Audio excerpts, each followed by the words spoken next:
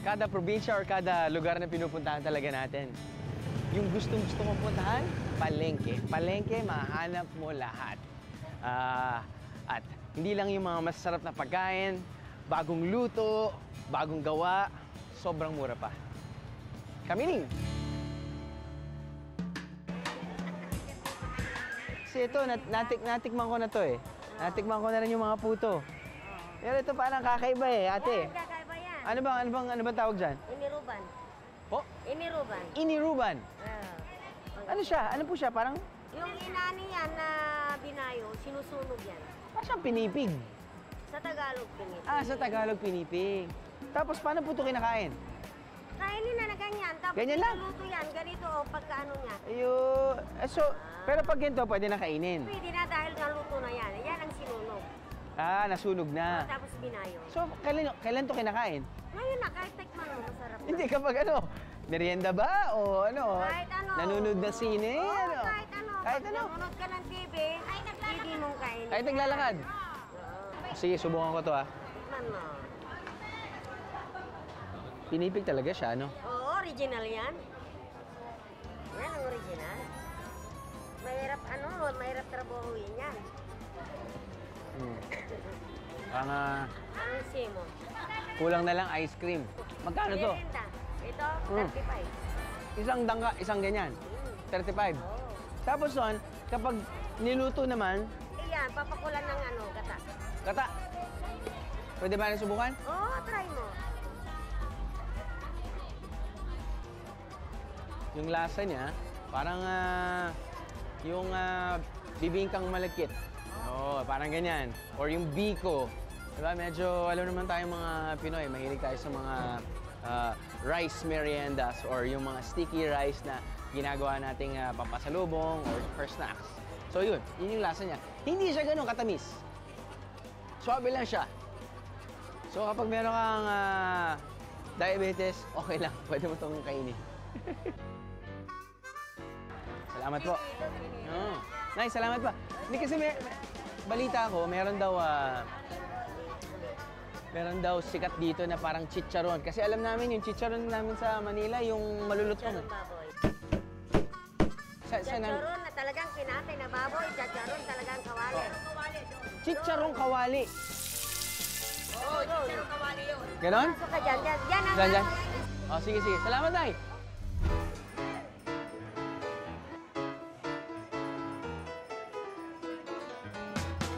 Ito po ba yung chicharon? Ito po, sir. Sir, guwapo. Sabi nila, dinarayo ang kamiling tarla for this crunchy, meaty, juicy slab of pork, ang kamiling chicharon. Paano nyo niluluto to? Palalambot mo na, sir. Lagyan ng asin. Pinalalambot? Gano'ng tagal? Depende sa baboy, sir. Kung bata, Oh. ma- ah, madali lang. Madali lang, dahil malambot na yon. Oo, malalambot. Oh. Madali lang. Kung matanda na gagaya ko. Pero eh, pag matanda na, medyo mas matagal. Opo, sir. Oh. Tapos pag malambot na, sir, tusukin mo ng tinidor. Oh. Kung dire-diretso na po na wala ng turba, ipri awingin mo sa tubig kung may tubig pa sa kawali. Oo, tapos yun. Ipiprito mo lang yun, sir. Ibibrito mo na. I-deep fry nyo na po.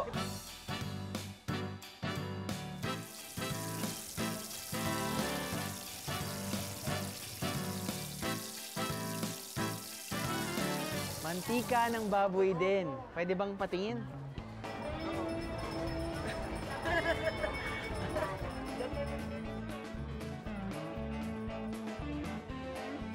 Wow. So, kumbaga parang nire-recycle lang nila dahil yung oil na to nanggagaling dito. Tapos ginagamit rin nila pang deep fry. Tapos yung pinanggamitan nila, tinatago nila, tapos na dini-deep fry. So, ah, ito na siguro yung ah, ah, flavorful at the same time deadly. Next level na ata ito ng kasabihang, where there's fat, there's flavor. Ah, magkano po ba isang ano, slab? Per kilo po, sir. Per kilo? Bali, 400 per isang kilo dito, sir. Pwede yung buong, ah, pwede nyo akong ipili ng ah, hindi naman sobrang matabahin pero Ay, yun po, sir. The best quality. Maganda ito. Kasi sa Pwede. Oo, yun. Sige po. Pwede mga... Tingnan po natin kahit kalahati lang. Opo, sir. Oo, oo. Oh, magka-respeto ako. Oh, Oh! salap, salap, salap, salap. Ayun. Crack! Release the Kraken!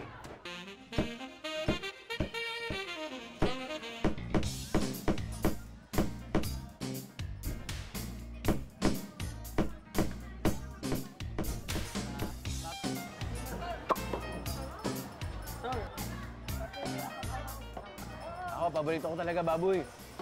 Tapos pag dinip fry pa. Tapos ito pa yung paborito kong parte, pork belly. oh, Ano pang liempo? Ang tarap. Sige po. Salamat, Nay. sir, sir. Ayos. So, nakakuha na tayo dito ah, ng kakanin. Ito yung tinatawag nilang ah, chicharon liempo na parang bagnet din. Fish yung tarlac. Not bad. So, inisip ko talaga pumunta Baguio or La Union. Pero you know what? Let's just stay in Tarlac. Gawin natin itong destination. Hindi ko marami pa tayong magagawa dito. Ano? Sama ka sa biyag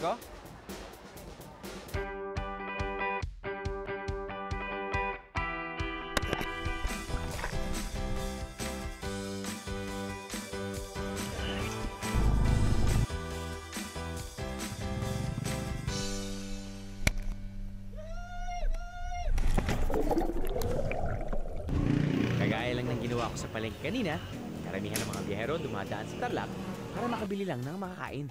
At ito ang isang sure shot, go-to place pagdating sa kainan. Ang Victor's Barbecue and Lechon Manok. Chicken, barbecue, and ano, sisig.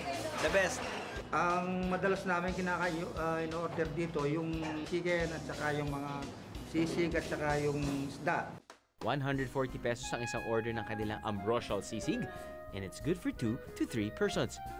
Nasa 50 pesos kada stick naman ang kanilang juicy barbecues. And this whole golden lechon manok is at a very reasonable price of 210 pesos.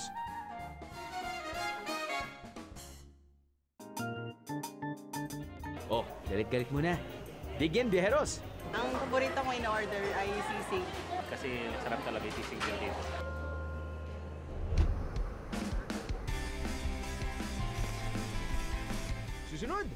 Mapapasigaw kayo sa adventure.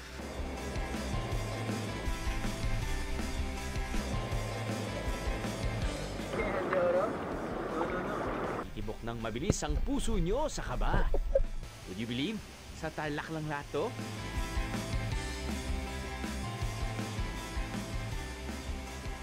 Stig! Ano? Sama ka sa biyahe ko? Sama ka sa biyahe ko?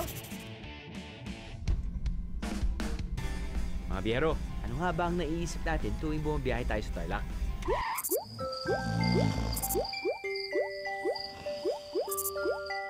Ah, sabi ko nga eh. Kumbaga, pagtatanungin mo sa akin, ano ba ang Tarlac? Well, yun yung uh, dinadaanan papuntang Baguio o papuntang Pangasinan. Ano, ano nga bang Ganun personality talaga ng ang Tarlac? Tarlac. Tarlac is da- daanan talaga. No? Nagkaroon talaga ng, ng bumang Tarlac, nagkaroon na ng trend. No? Pero Karilin, 1892, biglang nag, nag-boom talaga yung, yung population. No? Kanya da- daanan talaga.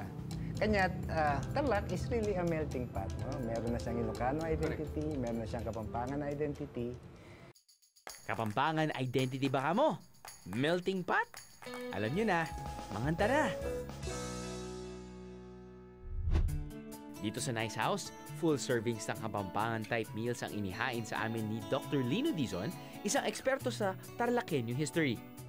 This is the nice house, ano? I- isang uh, re- restaurant dito sa Tarlac, but yung pinaka-motive niya is a old house, no? Old house, yes. Ah, supposedly owned by the Bundalian family. Okay.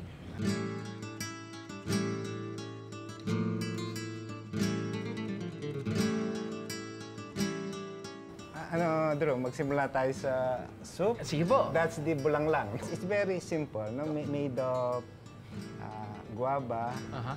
and kangkong and and of course pork or fish, no?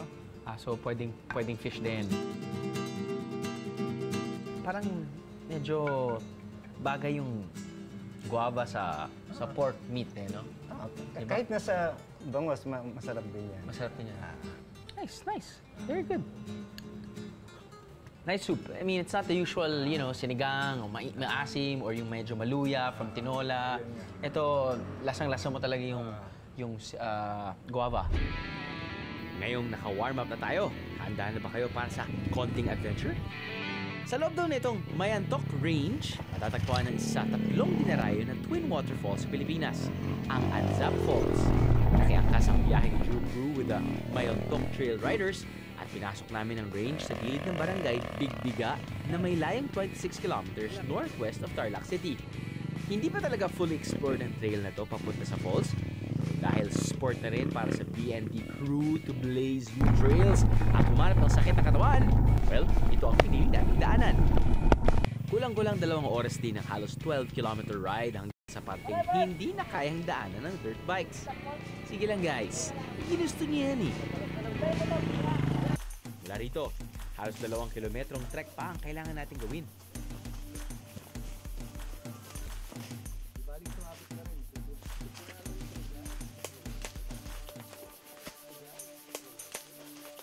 Hindi rin biro ang matarik at madulas na trail at mukhang mahihirapan ng casual tourist na kulang sa exercise.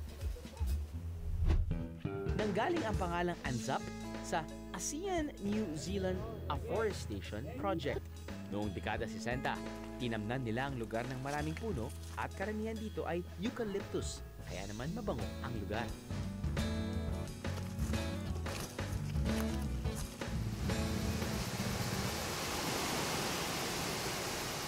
Ba, sulit naman pala ang bumps and bruises na nakuha namin sa trek.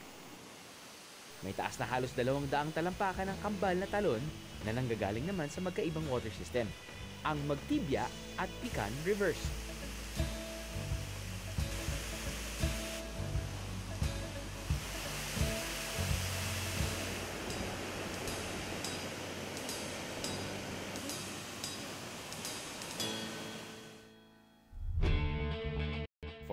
Tourists, ang ginagamit na trail ay yung tumatagos sa barangay Lambalan.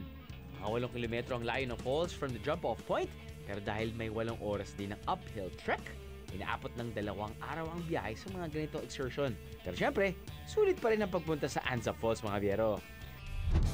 Sa may barangay Maamot, na may layong isa't kalahating oras mula sa bayan ng Tarlac, matatagpuan ang kilalang Nambalan River.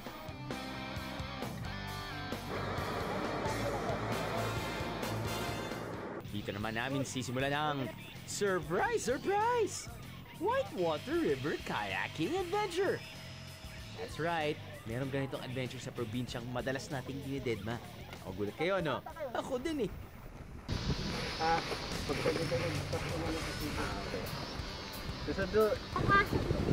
We have 7.2 kilometers. It takes 2 to 3 hours. Siyempre, bago simulan ng lahat, kailangan ng briefing mula sa ating mga guide. Safety first mga biyero. Pag tumawag naman po tayo, ano po ang unang natin gagawin? Okay. Don't let the boat behind us. Ay, huwag natin hayaan ng boat natin nasa likuran natin. Bakit? Unang-una kasi pwede tayong daganan. And off we go!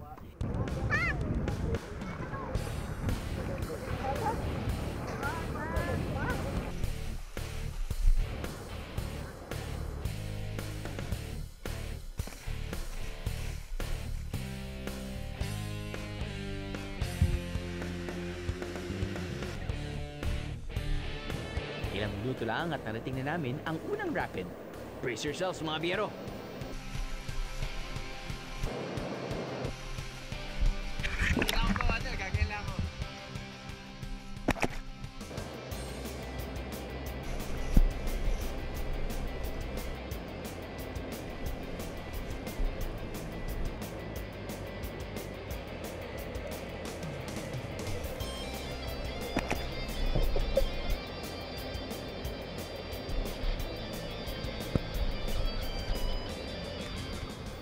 Gitna ng 20 or so rapids mula sa aming jump-off point hanggang sa dulo ng kayak adventure at barangay Iba sa bayan ng San Jose, tahimik ang paligid at sobrang relaxing ang tanawin.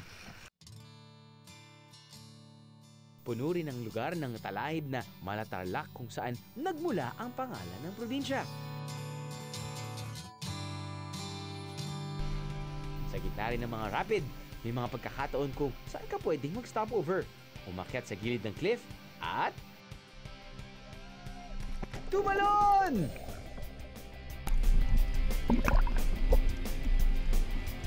Itong isang to, sasanga pa ng puno na piling mag-take off!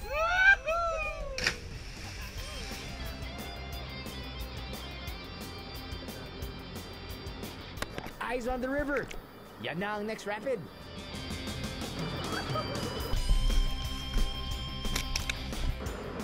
And just like that, may na-discover na naman tayo sa probinsya ng Tarlac.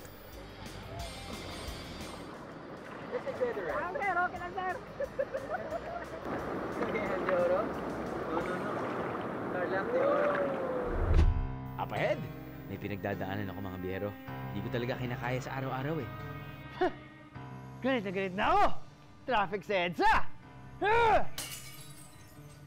Pero pwede rin kapag may pinagdadaanan sa buhay, ay ilabas sa... Pagkain!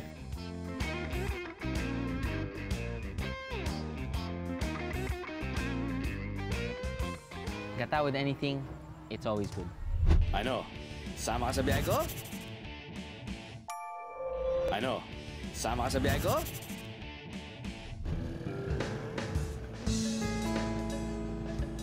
Yep, we are in Tarlac. But nope, we're not in between destinations. Dito talaga ang biyahe natin ngayong gabi.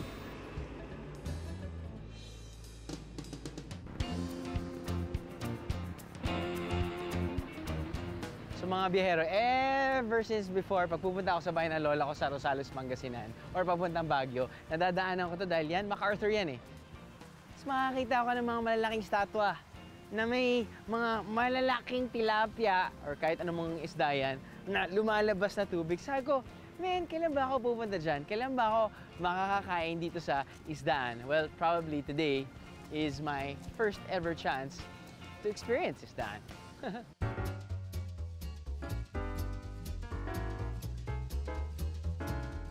Para siyang, ah, alam mo yun, parang a traditional kainan na nasa ilog. Alam mo yung ganon? Ah, serving Filipino dishes. But natutuwa lang ako dahil parang sa gitna ng, alam mo yun, parang halfway house papuntang Baguio or papuntang La Union, makakita ka ng gentong establishment. And it's huge! Parang floating restaurant, lahat yung buong restaurant. Tapos makakita ka, there are portions na may mga ponds. Ang isa sa mga pinupuntahan dito daw ay ay yun. Statues like, hey, Mickey Mouse, Minnie Mouse, or the big green guy, Incredible Hulk. Speaking of Incredible Hulk, and speaking of yung personality niya, and you don't like him when he's angry, dito okay lang kung gusto mong magalit dahil meron silang place for effective release of anger. Shout! Tawag nila dito ay takshapo. Nakita ko na to eh. Na-feature na to a couple of years back. This isn't really new. It's just that it's my first time to actually try it. So that's extra cool. Nga lang, kailangan mo magbayad para sa mga ibabato mo sa pader ng taksyapo. Galit na galit na ako! Traffic sa EDSA! Ah! Ang lamig ng kape! Ang gusto kagad ng lamok! Ang kape! Ako ngayon nakapag-rock and roll!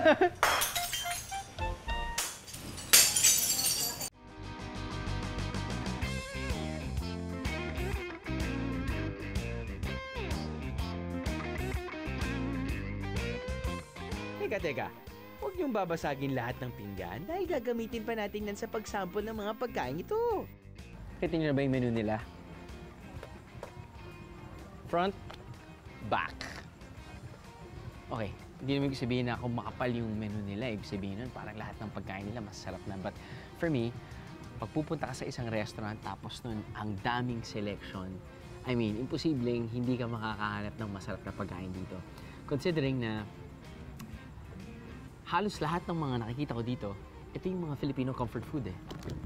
ba? In-order ko yung mga dishes na kahit pa kahit pa paano eh medyo special in presentation o may dating sa presentation. Pagdating sa lasa, well, we will see. Unahin na muna natin dito sa kanilang pinukpok na hipon. Presentation. Bamboo. Apparently, yung hipon ay half-cooked. Nilagyan ng gata. Tapos nun, nilagyan ngayon dito sa mm, bamboo.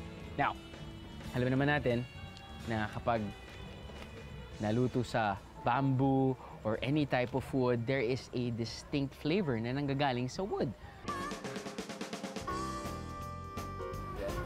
Props to the presentation. You don't really taste that, well, smoky uh, flavor na nanggagaling sa kahoy or in this case, yung, yung bamboo. But we're talking about shrimp, we're talking about gata. Pag nilagay mo yung gata, kilala nyo na ako. Gata with anything, it's always good. Mm. Now, meron sila sa menu na takshapo, gulay, takshapo, etc. Takshapo, etc. Pag sinabi pala ng takshapo, sa kanilang menu, si menu naglagay sila ng anghang. So, nakikita natin dito, kangkong, iba't ibang klaseng gulay. Ang nilagay nilang ah, sauce daw ay bagoong. Ayun. Kung magugustuhan ito ng nanay ko. Kung meron lang green mango, ididip mo dito. May asim, pero may konting sipa din dahil may konting anghang. Now, for me, ito na siguro yung pinaka-engranding presentation nila dito. Ito yung tinatawag nilang pinatolang baka sa buho.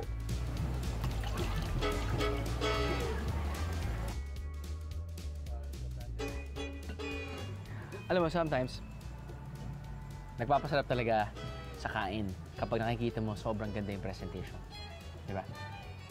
Iba yun eh, parang ah, yung mata ang unang kumakain sa pagkain pag dumarating yung pagkain. Di ba? Or, well, niloloko lang tayo. But, it's part of the show. Hindi ko alam kung tinola siya o nilaga siya eh. Hindi ko alam kung nalalasahan ko yung ginger o nilalasahan ko yung garlic. But then again, garlic or ginger, garlic and ginger, all good to me. Pero importante dyan, kung gaano ka-tender yung baka. Yun, yun yung hinahabol mo, di ba? Kapag kumakain ka ng bulalo. Pasado kay Rap sa Papa. Ano, biyeros? Tululaway na ba kayo? Aminin nyo na, you love my job. Ang dialect namin sa Tarlac is Kapampangan at Ilocano kasi noon kasi sabi ng mga matatanda is kwento ah, dating boundary lang ng Pangasinan at ng Pampanga. Kaya ayun, nabulang siya ng Tarlac kaya ang dialect namin dalawa. Mo- More or less parang naging marginal group na rin ka- kami kahit nakapampangan kami. Right, right. Pagdating sa Pampanga, hindi pa rin kami accepted ng mga kapampangan from Pampanga eh. Kasi parang outsider na rin kami sa mga kapampangan from Pampanga, no? Pa- Pagdating sa mga kapampangan dito, nagkaroon na rin kami ng identity na parang tarlakenyo na. Pero may kagandahan din kapag nagigitna ka sa dalawang kultura. Lalo na't pareho itong may culinary heritage. Drew, alam mo naman, ma- mga Kapampangans who are the sympathizers of the Spaniards, no? Kanya I meron tayong bringhe, no? We call it bringhe or I forgot about this, pero ah, para alam ko na arroz tong a la story na to. Valenciana ito. eh, no? Yes. Ito, it's, it's a, of course, it's a meal in itself. Oh, yeah. Pati parang ang daling baunin. Ah. What's next? What's next, Doc? next, we call it the sisig puso, pusong sagit. Mean, Dok, alam ko na kumakain ako ng puso ng saging, the best. I love it. Pero sisig, alam ko sisig, di ba? Ano yan eh? Chop, meat, pork, face, ah, oh, yun nga. ears. Mm. yung, yung Kapampangan kasi, ganun yung term nila for this kind of, uh, when you chop it, we call it sisig. Sisig. At Okay. alam mo, Drew, yung sisig na pinasikat ng Pampanga, Mm-hmm. yung na- nagsimula niya, si Aging Gusing was from Tarlac. Lapas Tarlac siya. Wait, Yeah. tiga Tarlac Lapas siya Ah, at lumipat sa Angeles. lumipat sa Angeles. Alam mo, actually, all over the world na eh. Alam na ng mga Pilipinos kung ano yung Yung sisig, eh, no? sisig, eh. Lalagay ka pa ng itlog. Ah, ah, ah. minsan maglalagay sila ng mayonnaise. Iba-iba na. Nag-evolve na po eh. Ano. Pero ito, subukan ko po ito na sisig na gulay or puso na ng saging. Sisig puso. Well, usually kapag kumakain ako ng puso ng saging, ano siya eh. Gata yung sauce eh. Gata. ah, Mm. This one has uh, its own sauce. ah, sa- sa mga konting kapampangan, asim. ah, yung, yung mga kapampangan kasi hindi sila masyado sa gata. eh. Kasi Gata. nga wa- walang masyadong bubuko dito. Ah, yun. Like, ah, Well, I guess the buko in the area is all here in the Fiesta Island Seafood Hub. At ginagawa pa nila itong pansit. Ang pagluluto ng pasit buko, parang nagluto ka rin ng pasit. Parehas lang yung pagkagisa. Gisa sa bawang sibuyas. Tsaka yung sahog ng pasit, parehas lang.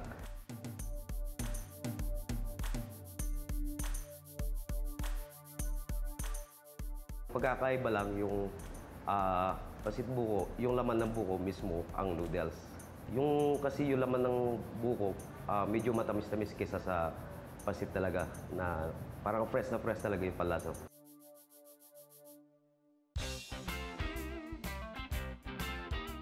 Katakam-takam din ang iba pa nilang specialty. Pero walang panama yan sa specialty ng biyahe ni Drew Crew. Save some room, boys! Hindi pa tapos ang biyahe. Dune Buggy Adventure? Olympic-sized swimming pool? We're still in Tarlac, mga biyero. Ano? Sama ka sa biyahe ko? Ano? Sama ka sa biyahe ko?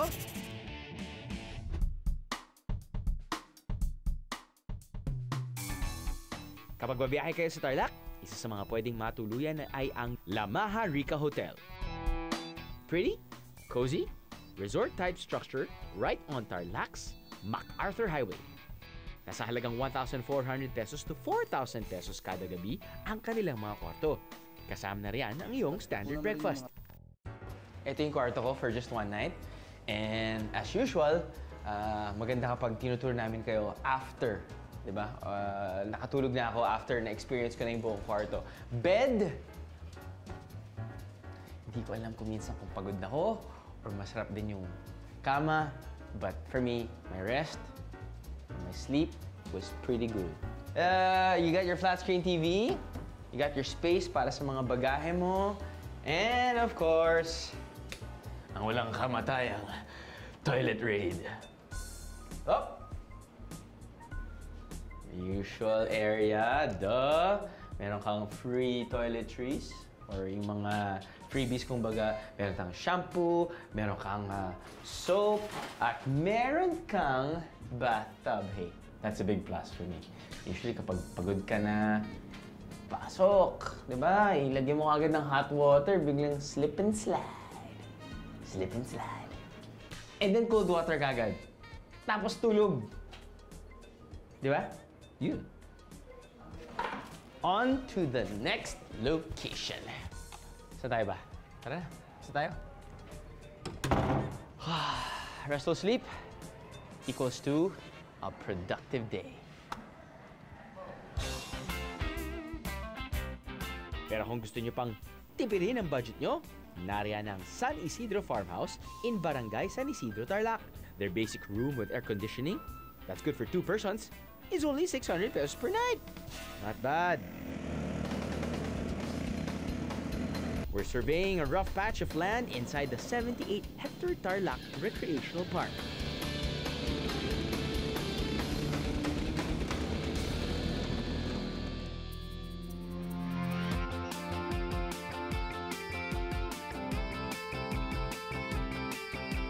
Dito raw sa park and sports complex, ginanap ang palarong pambansa noong 2010.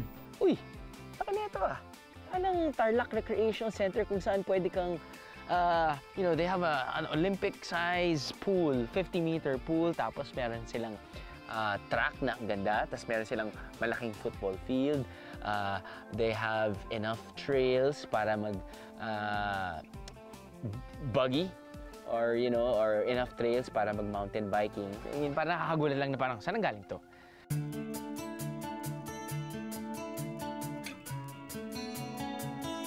So, bago ng trip na to, parang naisip ko nga, Tarlac, ano bang i-feature natin sa Tarlac, di ba? Usually, dinadaanan lang talaga yung, ah, yung mismong Tarlac. Pero historically, ayon kay Dr. Dizon, daanan nga lang talaga ang Tarlac. Ta- Tarlac kasi was the last province ng Central Luzon. Eh, na na-create siya out of an economic need no ng mga Kastila, ng mga Spanish colonial government. Kanya nagkaroon ng ferrocarril, no? Yung to, to mix the yung transport point nga ng south at saka ng, ng north.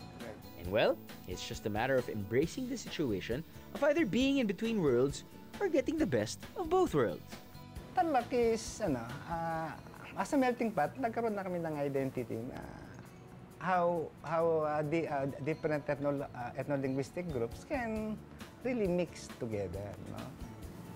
Ah, yung uh, meron na kaming Ilocano side, meron na kaming Kapampangan side.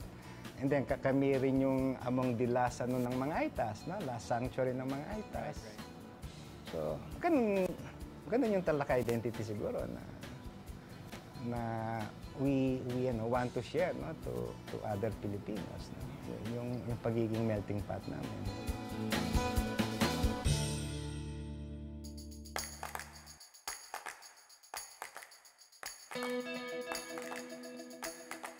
I guess these are the things na nagulat ako as a tourist and nagulat ako as someone na may nanay na nanggaling sa Pangasinan, which is very close to Tarlac. No?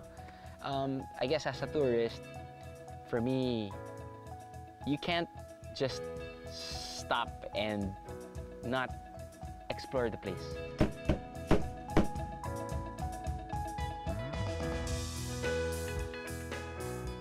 You know, you can't just stop and like, oo, alam ko yan eh. Dinadaanan lang natin yan. Ah, ating mga, para sa ating mga turista, importante sa atin na just keep on exploring. Ah, hindi mo alam kung anong pang mahanap mo. It's time for Biahero 101. Kahit na medyo mahihain kayo, the best pa rin talaga, magtanong. Lalo ni mga lalaki, di ba? Kapag nawawala na, hindi, hindi, kaya alam ko to, alam ko to. Hindi, magtanong. Magtanong lang na magtanong kasi walang mawawala sa'yo kapag ikay magtatanong. Libre. Libre ang tanong. Excuse me.